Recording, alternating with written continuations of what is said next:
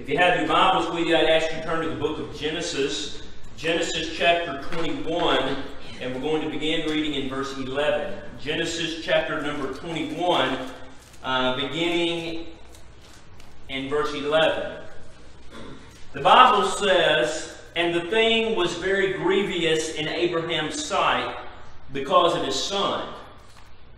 And God said unto Abraham, Let it not be grievous in thy sight because of the lad, and because of thy bondwoman. And all that Sarah hath said unto thee, hearken unto her voice, for in Isaac I shall, and for in Isaac shall thy seed be called. And also of the son of the bondwoman will I make a nation, because he is thy seed. And Abraham rose up and rose up early in the morning and took bread and a bottle of water and gave it unto Hagar, putting it on her shoulder, and the child, and sent her away. And she departed and wandered in the wilderness of Beersheba. And the water was spent in the bottle, and she cast the child under one of the scrubs uh, shrubs. And she went and set her down over, over against him a good way off, as it were a, a bow shot, for she said, Let me not see the death of the child. And she sat up, and she sat over against him and lifted up her voice and wept. I'd like to preach, the Lord be my helper, uh, tonight on the thought, when it's all gone, what will you do? When it's all gone, what will you do? Dear Lord, we thank you for your kindness. Lord, we thank you for your mercy and grace. Lord, your grace that's brought us another way, another time this side of eternity to your house, to hear your word, and to meet with your people. Lord, we praise you for that. Uh, we count it as a blessing. Lord, we pray for each of those that are here tonight, Lord, because we certainly know that you brought them here this way, and they've come, eh, they've come here by your grace. Lord, we pray for your word tonight that it might be a lightning uh, rod to someone tonight and wake up, wake them up to their condition. Lord, we pray for the lost. What a wonderful thing it would be tonight to see someone genuinely saved and know that you are the King and that you're their Redeemer, Lord. That's what we pray for. God, help us as a people that we might uh, have a hunger and a thirst to spread the gospel. Lord, that uh, we would uh, desire more than any other thing just simply to see folks saved and your gospel be preached. We pray these things in the name of Jesus. Amen. Now, uh, fairly familiar verses of Scripture. Uh, a lot, a lot of, a lot of stuff here. If you want to feast on it, um, I'll just give you some food for thought. First of all, Ishmael was a child of sin.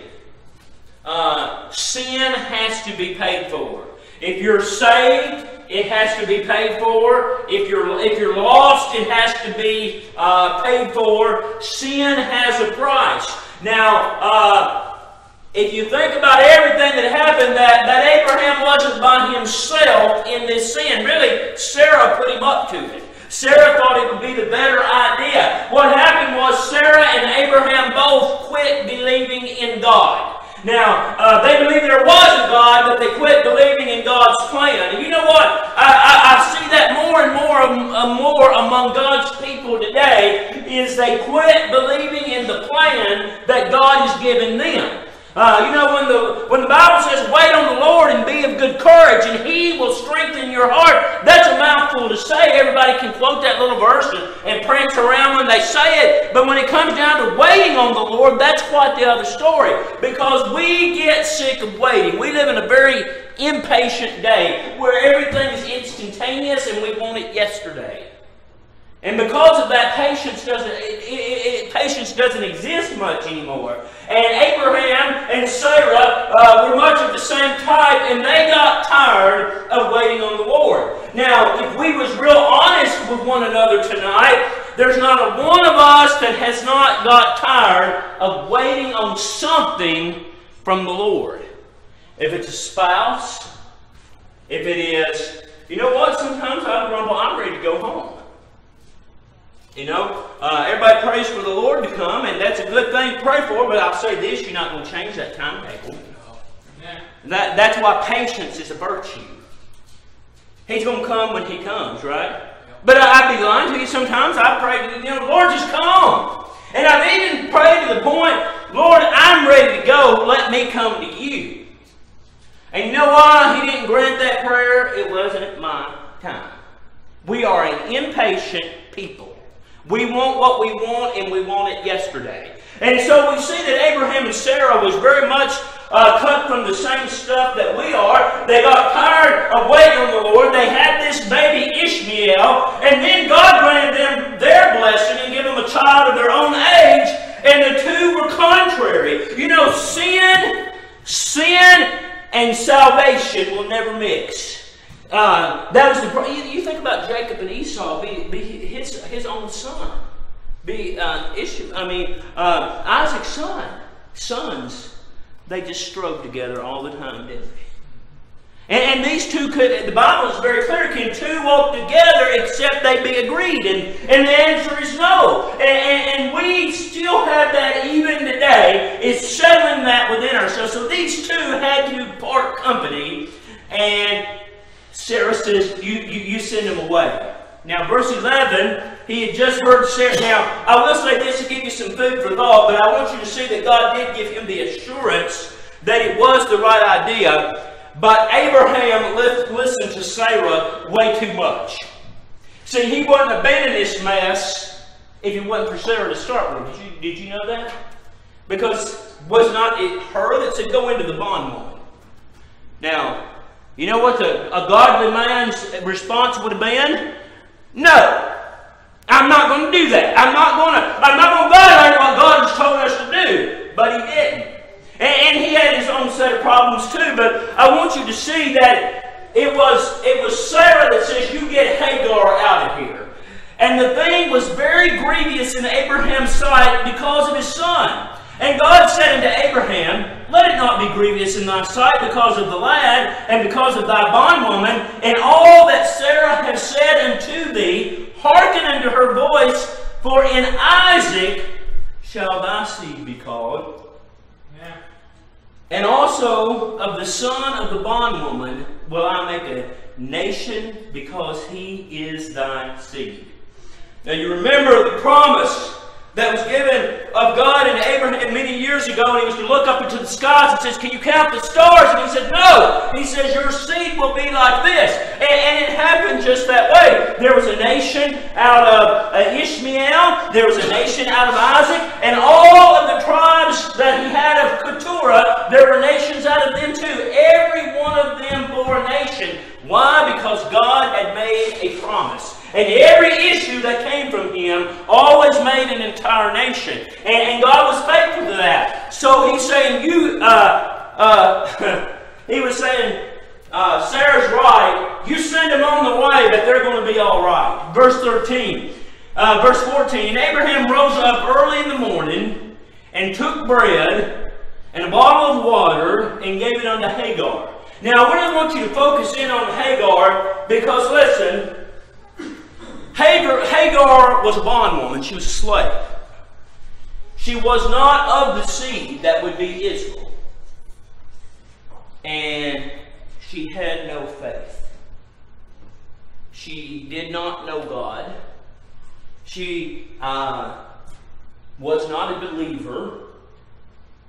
She, she was sinful in any way that you can think of. Everybody, well, boo hoo, poor Hagar. No, no, no. You know what that was? It's the wages of sin. You know what? You get out and run around with a man, you know what's going to happen? That's sin. Men, if you get out and run around with a woman and she becomes a child, you know what? That's sin. There's nothing beautiful about that. It's you know, today we throw them a big baby shower. God help us. You know what? They don't need a baby shower. Eh, you know what? That ought to still be a shame among God's people. It's not time to celebrate when a young lady gets pregnant out of wedlock. Uh oh.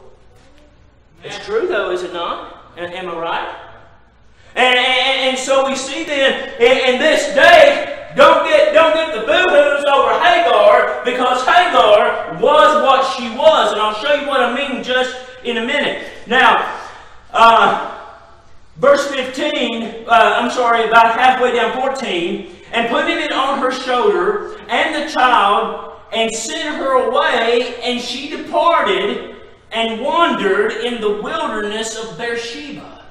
Now, ladies, you think about it, if you have a child and you're just, you know, wandering around. You know, if somebody sent me on the way with my children, I'd be looking for a place somewhere to have a, a roof over my kid's head, in a way to get a routine set, set of food, in a way to provide for that child. I don't know, maybe that's just a man's way of thinking.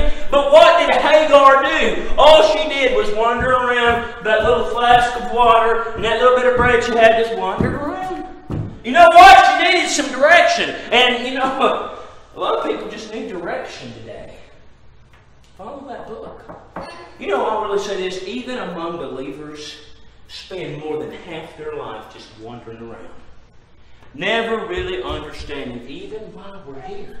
You know what? Hello, we're not here to make money. Because you know what? All that money is going to be somebody else to fight over uh, in about 25 years. That's, that's all that's going to amount to. Yeah.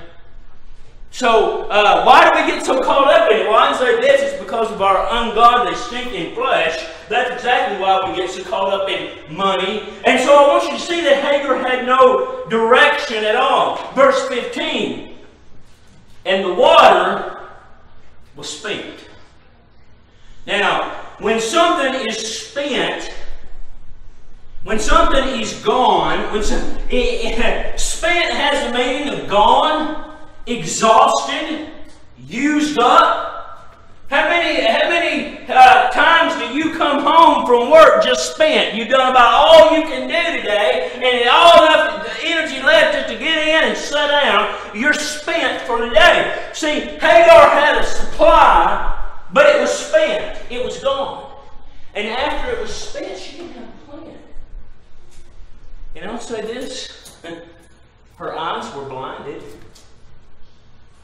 Did you think about that? We'll, we'll read that in a minute. The water was there, but she didn't know it was there. You know what? The answer to sin is here this, this evening.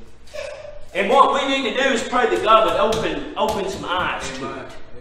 Because it's right there. We'll, we'll, find, we, will find that the water was as close to me as Brother Junior, and she couldn't see it. You know why? Because it was a revealed truth.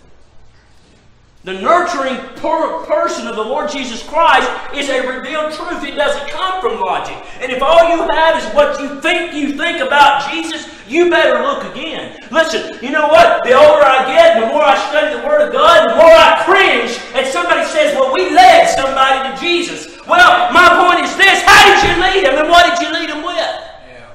You know what Jesus is? It's a divine, revealed truth just as much as there's a God in heaven above.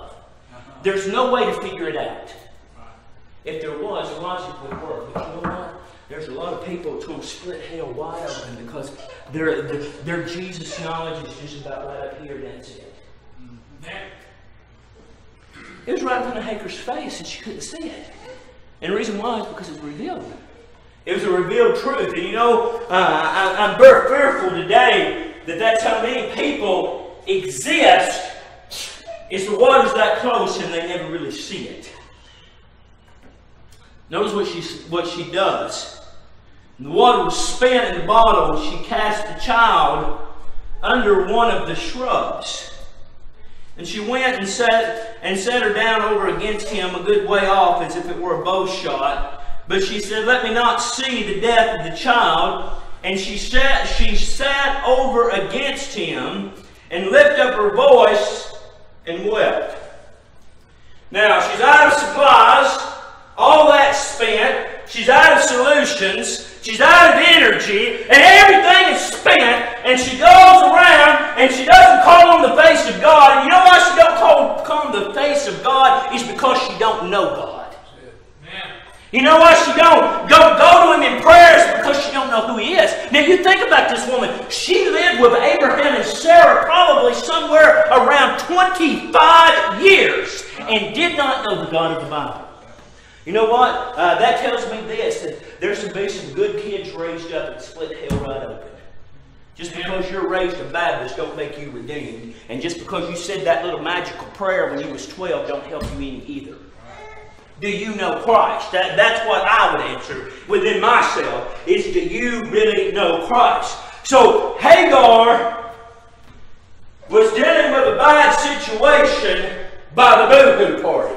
And you know what? We live in a day and age today where that's most people's solution to everything. When everything is spent, and all their ideas is exhausted, the money's gone, the doctor's gone, there's nothing left to do. Well, let's just have a boo-hoo party. You know what? That may, may give you a little emotional tension, but it, a, a relief, but it sure don't get nothing done. You know what? Uh, what people need today is a solution. And that solution is Jesus Christ. That, that, that is the answer. Whatever the question may be, that is the answer. Is the Lord Jesus Christ in Him alone.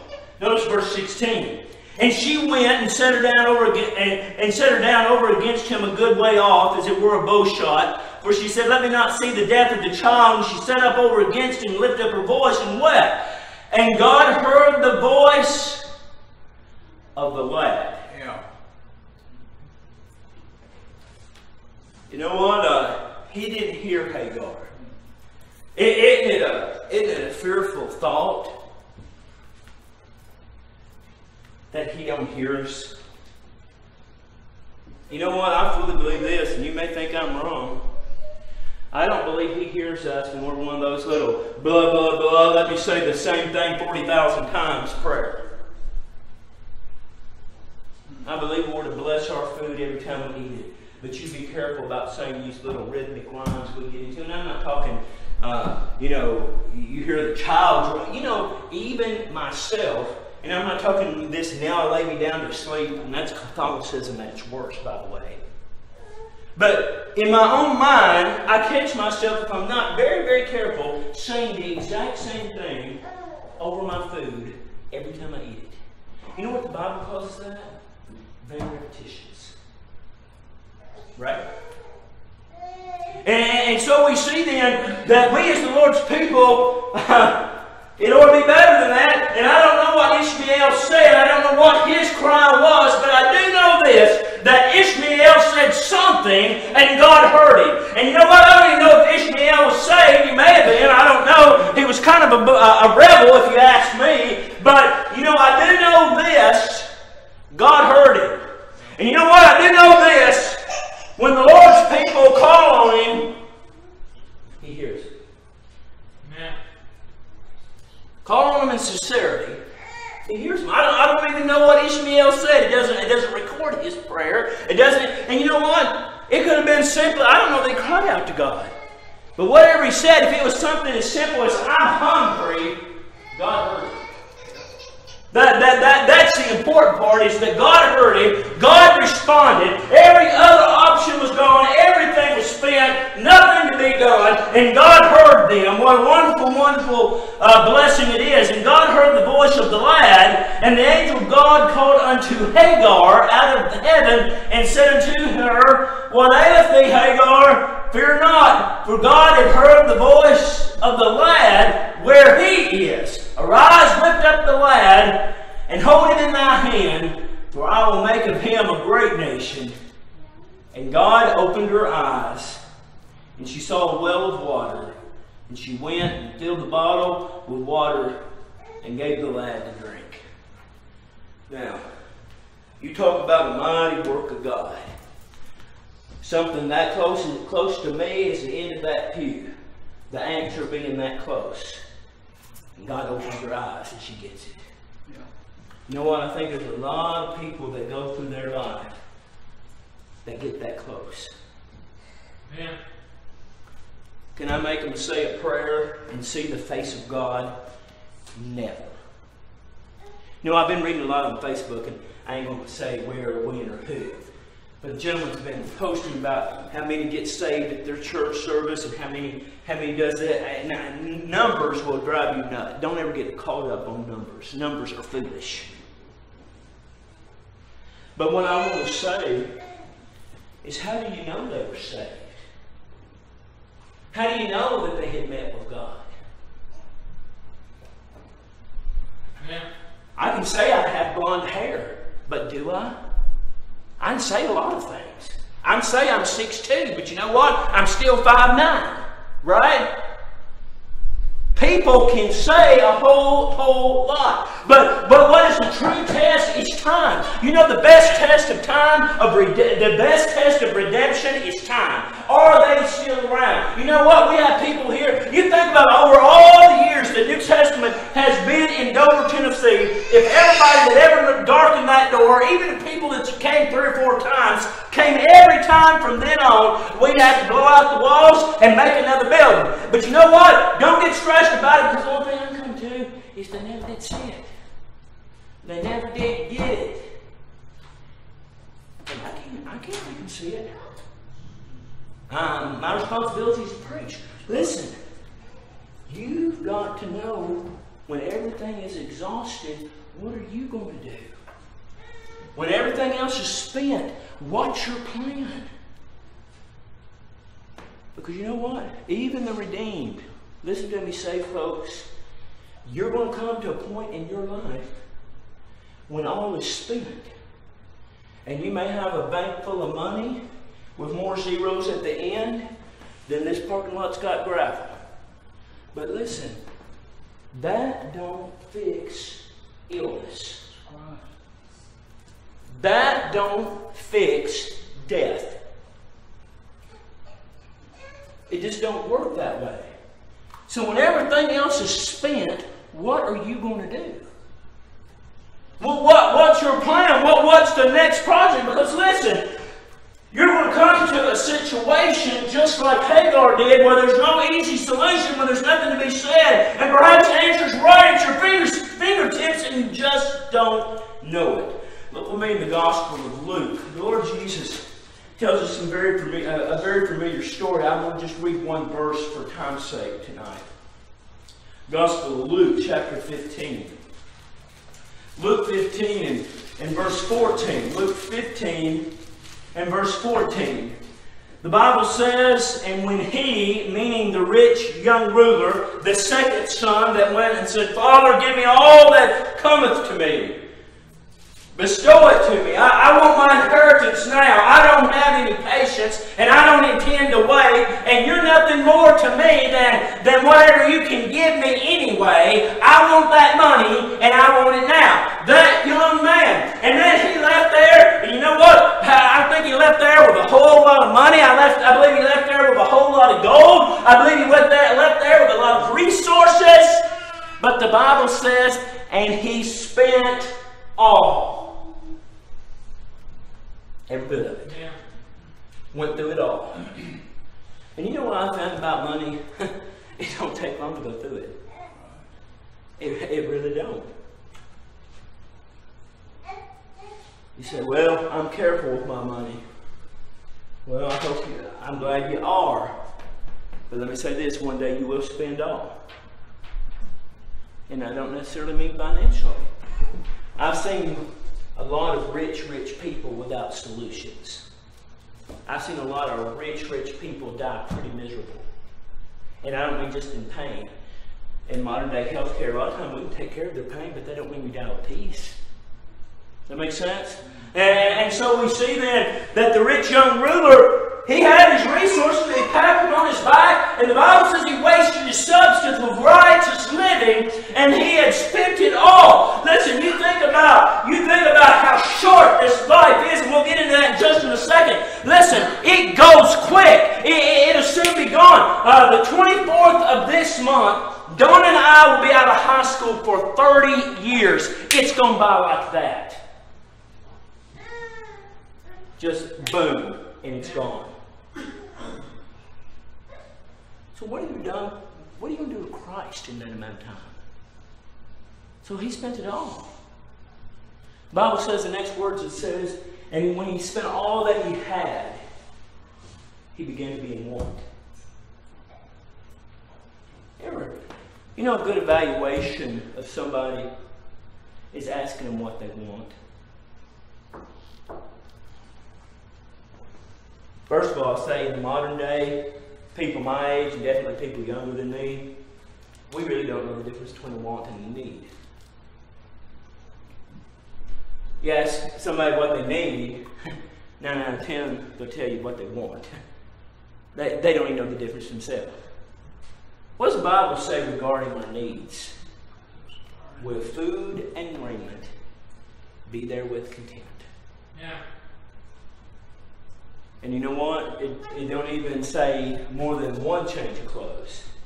With food and raiment, be with their food for right now. You know, I ate supper before I left the house. Sarah fixed some kind of taco something. Really good. You know what? If, if I really believed that verse, I wouldn't even worry about breakfast, would I? You say, well, that, that, that, that, that's not being responsible. And I said what you're saying. But I mean, really, is there much you do about it anyway? How many people remember when they began to complain they just left Egypt? Oh, our soul loatheth this light bread. So God said, okay. And he sent them, he sent them the quail till they couldn't eat anymore. The Bible said it stunk. They couldn't eat it fast enough. It was literally falling on the ground and rotting. That's what the Bible says. You know what that says to me? We will never, ever, ever fulfill the desires of this flesh. Ever, ever. Right. It, there's no way to do it. Now, If you get a red Corvette, next thing you're going to want is a yellow Corvette. And you want both, and you want a brick garage to put them in. You can't satisfy this flesh because it always wants more and more and more. And so we find that the rich young ruler spent it all. He had nothing left. And, and you know uh, what a glorious thing is? It says, and when he came to himself, when he came to himself, he says, How many hired servants in my father's house have this and despair, and I perish with hunger? I will arise and go to my father's house. What a blessed thing. You know what? I believe everybody says, Well, do you think he was saved? Yeah, I think he was saved. I'll give you two good reasons why. Number one, he got a fair inheritance. See, uh, illegitimate children don't get an inheritance. He got a real inheritance. And number two, if he was lost and he came to himself like old Hagar, it wouldn't done him no good. Because people that are lost can't see, can't see, remember? Hagar's well was as closest to me as Sarah, and she didn't see it. You know why? Because Hagar was lost. And so a lot of times the solution is right there before us, and we, and we don't we don't, don't take of it because we can't see it. Kind of reminds you. it makes me think that, they're, that they were blinded, is what the Bible says. Look with me in, uh, in Psalms chapter 31. Psalms 31. Psalms 31, and we're going to read verse 10. Psalms 31 and verse 10.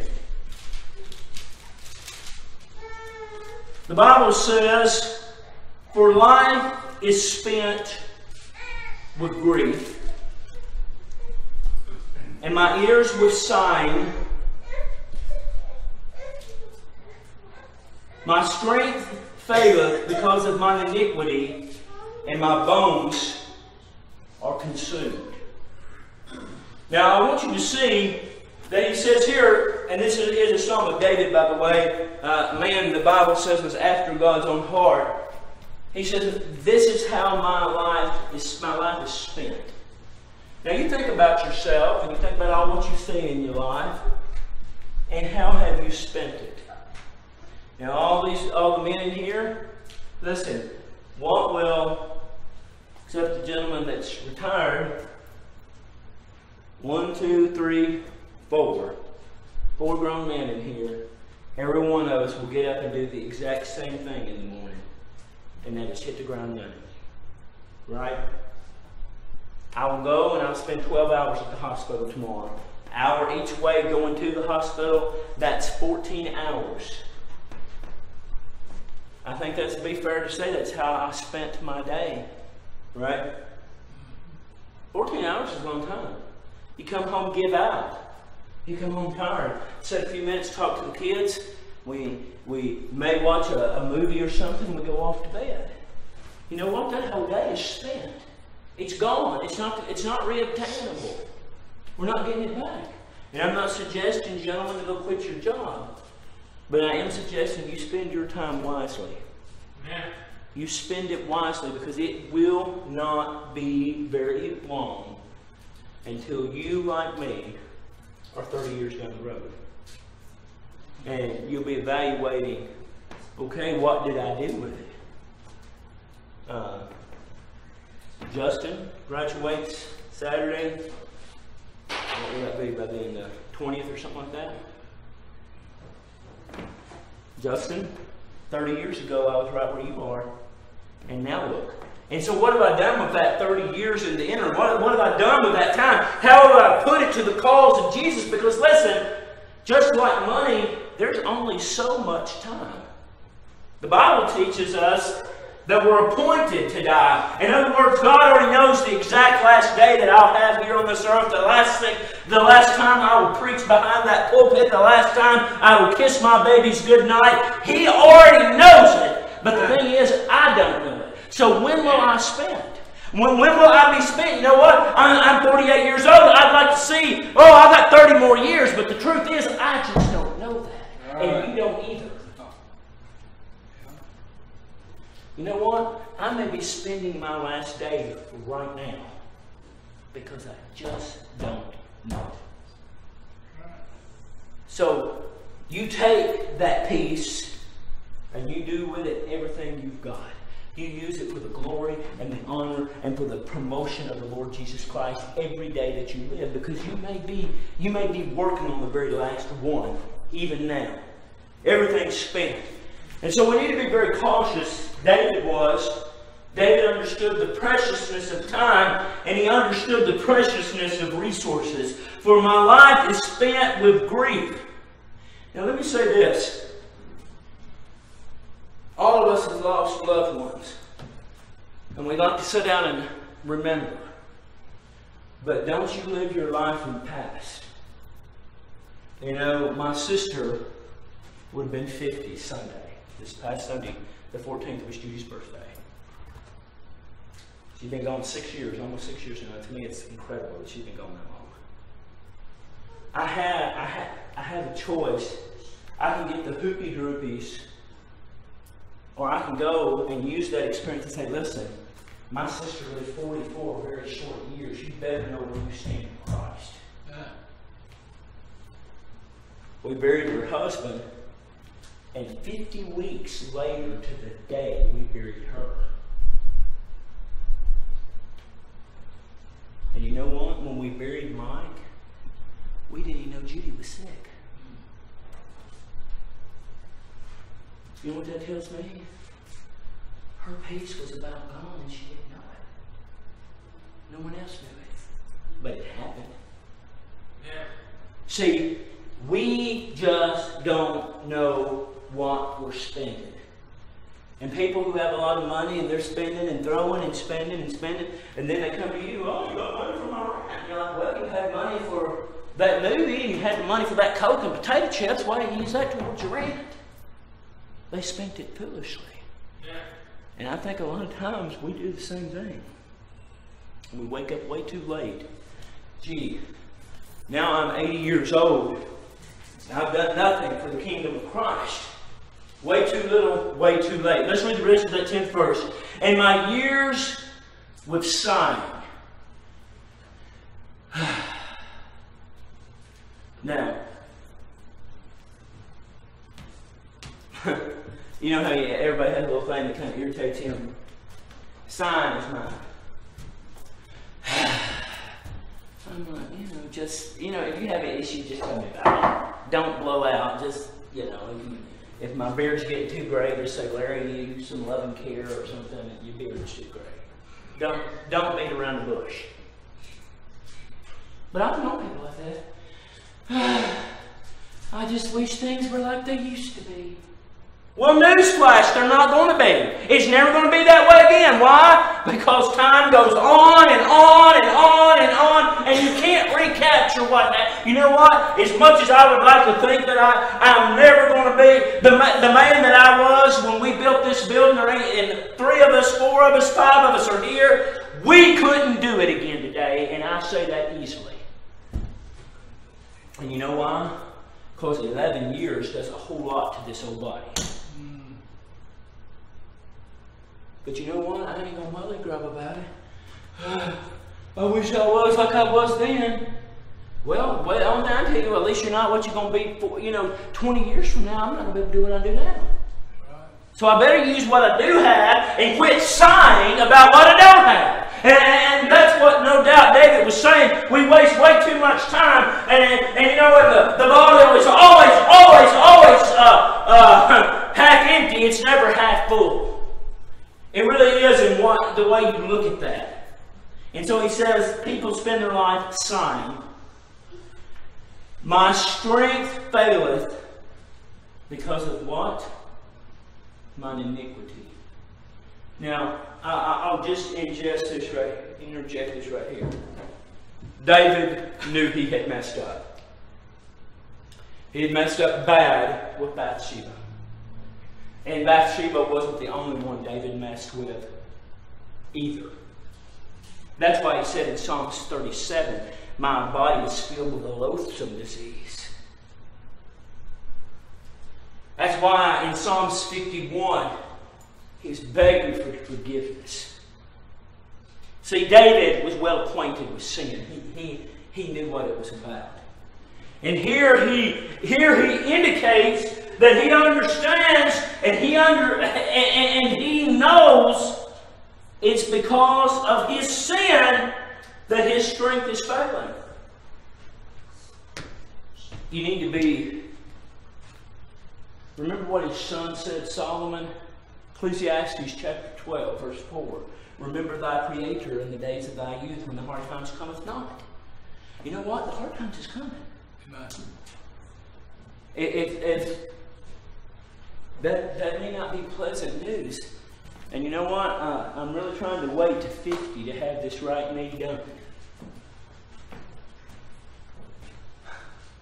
But it may not, it just may not happen. You need to use what little bit you have for the cause of Christ. You don't know, Brother Lafferty. You don't know what I have to do every day. You don't know how consumed I am. Well, yeah, you're right. But listen, I do know how it is to have nine children at home. And I do know how it is to work 12 hours and come home and literally your wife pulling at the end of her hair. I, I, I remember those years. I remember them well. Don't get too rutted down. You know what I did in those years? That's why I still like to pray in my truck today, is because that's the only time I could fix my mind on things of God was when I was on my way to work or on my way home. There's something that you can do. Don't don't wait. Don't wait you know, till you're sitting somewhere. You know, you can even get out of your house on your own accord, and you're like, I wish I would have done that. I wish I would have went to that neighbor and knocked on that door. You know what? One day, that neighbor will be gone. Or you'll be going gone. I remember, and I'm going to get into where I grew up, there was a, a lady and her husband. They, they lived in Grant City. And they had a little trailer right next to our little house when I was growing up. They come down here every year. Very sweet, sweet couple. And um, she was always doing stuff for me and Judy. And every year she said, Well, I'll see y'all next summer. And they come spend the whole summer back down in Tennessee. You know, one summer she didn't come back. And I said, Well, where's she at? Her sister, she lived next door to her sister. Oh, didn't I tell you? She's gone. She's gone. She, she passed away. See, she, she had a plan for one more summer. And it just didn't happen. She didn't have another summer. So, what we need to do as the Lord's people, before it all gets spent, use it for the kingdom of God. Yeah. Yeah. Your money, your strength, your, your resources, your energy. Listen, the, the energy of youth fades very quickly. Use it while you have it. You, use it while, while it's there. Don't waste it. Because when You get 50, 60, 70. you may have a heart's desire to do it, but your body ain't keeping up with you anymore. Right? Mm. Do you, do you really know the Lord Jesus? Are you like Hagar and maybe for the first time really seeing that the, the answer was right beside you all along? I would suggest you seek the Lord while he may be found. Amen. Yeah.